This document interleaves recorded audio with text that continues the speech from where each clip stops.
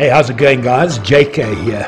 I've been taking a bit of flack lately in my moonshiner business, so I was thinking I need to test out some new firepower. With that in mind, I'm off to the gunsmith to get me a pair of those Navy revolvers. Why don't you come along? Let's see what these puppies can do. Hey, buddy, I'm looking for a pair of those Navy revolvers. Have you got anything to show me? Yeah, those are them. I'm going to need two of these.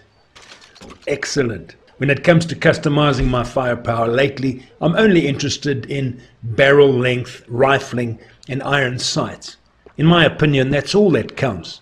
When you take the grips on offer, they are only there to take your money and make your gun look pretty, which is cool. I get it, but uh, not for me. I just want to kill people with the least expense. Whoever said length doesn't count obviously had a short one. In my opinion, length definitely counts. Well, that's my opinion.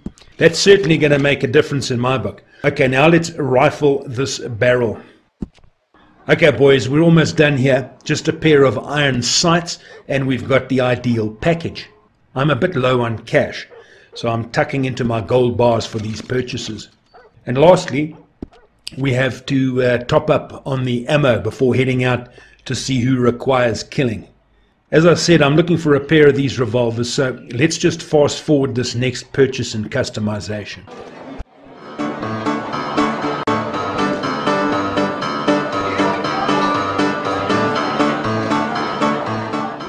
Excellent. Thanks again, buddy. Appreciate the service.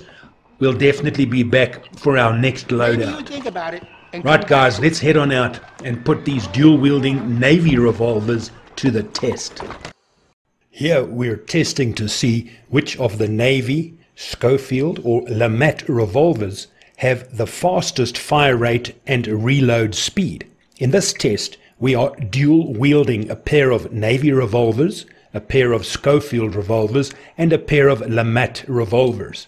Obviously, we have to test apples for apples or guns for guns. and because the LeMat has a nine round chamber as opposed to the Navy and Schofield only having a six round chamber, we are only going to time the fire rate and reload speed from firing and reloading 12 rounds while dual wielding the revolvers. Okay, first up is the Navy revolver.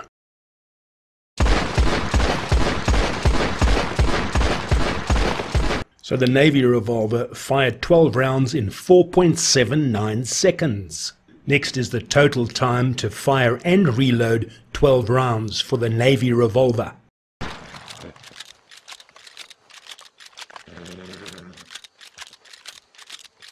Total time to fire and reload 12 rounds from the Navy revolver is 11.19 seconds.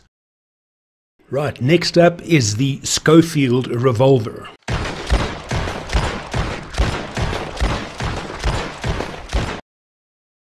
Right, the Schofield revolver shoots 12 rounds in 4.92 seconds.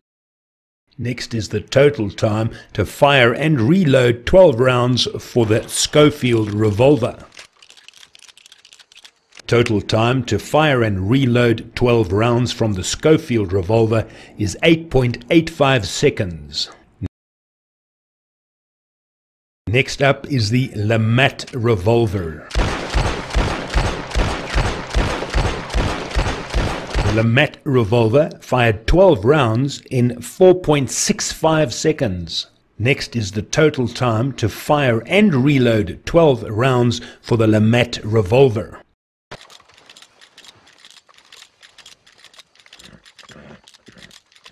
Total time to fire and reload 12 rounds with the Lamette revolver 13.45 seconds. Right. I think an efficient use of my time would be to use these Navy revolvers while clearing out revenue agent roadblocks. That way, I not only get to evaluate the revolvers, but also gain a bunch of valuable XP at the same time. I think that's a great plan.